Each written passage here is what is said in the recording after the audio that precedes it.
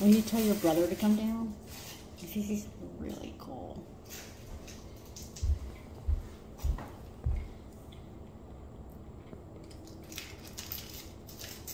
We're so good.